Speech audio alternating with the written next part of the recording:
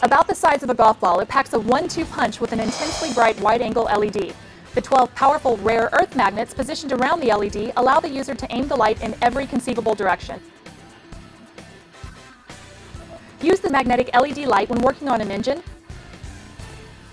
changing a tire, wiring a home theater, switching on a breaker, crawling around under a counter, plumbing or just general use around the house.